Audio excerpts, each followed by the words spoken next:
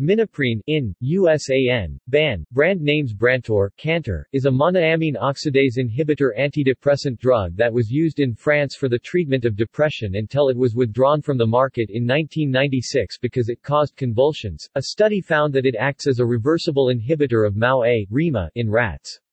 In a study it has also been found to weakly inhibit acetylcholinesterase in rat brain striatum homogenates. References